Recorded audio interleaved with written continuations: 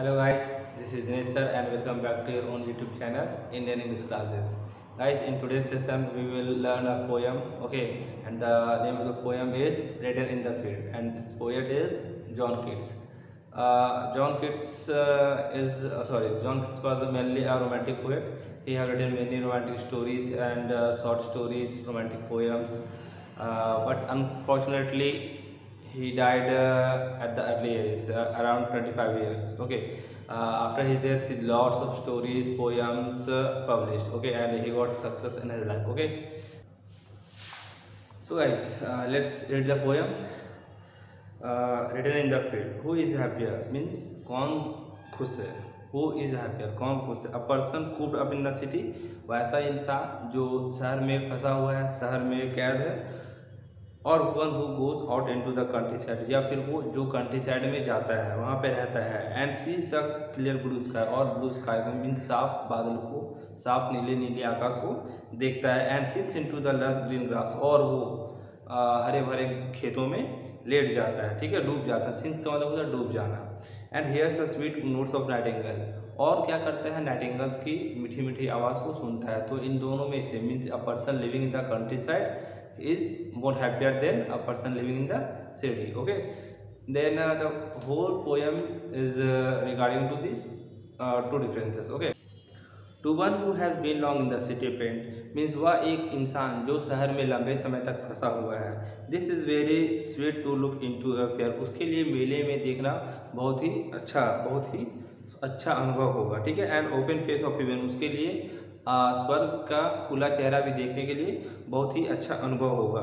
To breathe a prayer means वो स्वर्ग में क्या कर सकता है? प्रेयर को भी गा सकता है। Full in the full in the smile of blue firmament firmament का मीन्स होता है स्काई ठीक है? वो जब एक्चुअली हिवेन कहाँ होता है? आसमान में होता है, ठीक है? तो हिवेन पूरा ब्लू है। उसके बारे में बता रहा है कि वो ब्लू ब्लू आसमान में ब्लू हिवेन में वो क्या कर सकता है? प्रेयर कर सकता है। हु इज़ मोर हैप्पी कौन ज़्यादा खुश है? When when with heart's content जिसका जो हृदय, जिसका हृदय, जिसका दिल सेटिस्फाइड है, वो ज़्यादा खुश है, ठीक है? Fatigued he sinks into some pleasant lair इसमें ऑथर बता रहा है, जब वो थका हुआ रहता है, जब दिन भर ऑफ़िस में काम करके या फिर कुछ भी काम करने के बाद जब वो थक जाता है तो वो क्या करता है? Fatigued he sinks into some pleasant lair ठीक है, जो ऑथर है, वो बता रहे हैं, जब कोई थक जाता है फैटिक का मतलब होता है थक जाना। जब कोई बुरी तरह से तरह से थक जाता है तो वो प्लेजेंट लेयर लेयर का मतलब क्या है? Resting place lair means resting place जब कोई इंसान बुरी तरीके से थक जाता है तो वो एक आराम करने का जगह खोजता है। तो इसमें बता रहा है कि जो पोएट है या फिर कोई इंसान जब थक जाता है तो बुरी वो एक रेस्टिंग प्लेस पे जाता है मीन्स आराम करने वाला जगह पे जाता है और वहाँ पे लेट जाता है। और वो उसके अगल बगल का सराउंडिंग्स क्या बता रहा है? ऑफ़ वेवी ग्रास मीन्स उसके अगल बगल का जो सराउंडिंग है, वो कैसा है? वेवी ग्रास मीन्स बड़े बड़े घास है और जब तेज़ हवा चल रही है तो उन घासों में क्या हो लहर आ रहा है, ठीक है? एंड रीड्स एट डेबोनियर और वो लेट के थका हुआ आदमी लेट के क्या पढ़ता है? एक डेबोनियर पढ़ता है। डेबोनियर का मतलब क्या है? Cheerful light hearted and gentle tale of love and languishment languishment का मतलब है staying separated from person you are in love with ठीक है? जब कोई इंसान थका हुआ रहता है तो वो एक ऐसी जगह पे सोता है रिलैक्स होता है, जहाँ उसको मज़ा आता है, मीन्स उसको आराम मिलता है और वो लेट के क्या करता है? वेवी ग्रास पे एक स्टोरी पढ़ता है जेंटल टेल ऑफ़ लव ठीक है? प्यार का नेक भरा स्टोरी पढ़ता है और लैंग्वेजमेंट का मतलब होता है a person to whom you are too much attracted but separated separated by any circumstance वैसा भी कहानी पढ़ता है जो एक इंसान किसी दूसरे इंसान से बहुत ज़्यादा अट्रैक्टेड था, लेकिन किसी वजह से वो अलग हो जाता है। उसका स्टोरी भी यहाँ पे पढ़ा जाता है, ठीक है? अब शाम हो जाती है, उसके बाद क्या होता है? रिटर्निंग होम एट इवनिंग जब पोएट शाम को अपने घर जाता है या फिर कोई भी अपने घर जाता है गाँव के टाइम में गाँव के साइड तो with an ear catching the notes of Philomel ठीक है? फिलोमेन यहाँ पे मीनिंग तो दिया है एक नाइटेंगल को कहा गया लेकिन नाइटेंगल यहाँ पे एक, एक किसी एक लड़की को दर्शाया गया है ग्रीक ग्रीक स्टोरी में फिलोमेल कोई लड़की का नाम है ठीक है? एक लड़की का नाम है तो यहाँ पे ऑथर बोल रहे हैं रिटर्निंग होम एट जब वो शाम को घर वापस आते हैं तो उनकी आँखों उनके कानों से फिलोमेल मिस नाइटिंगल की आवाज़ गूंजती है। मिस उनकी कानों में नाइटिंगल की मीठी मीठी आवाज़ सुनाई देती है।